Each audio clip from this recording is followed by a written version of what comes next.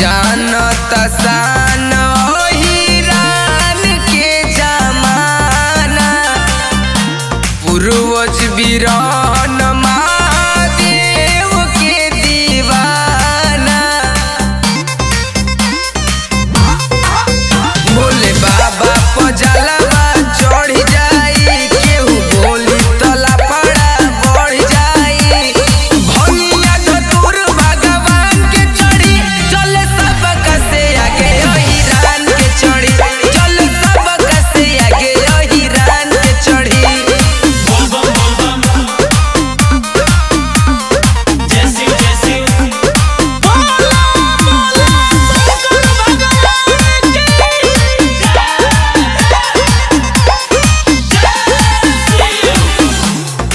नाथों के नाथ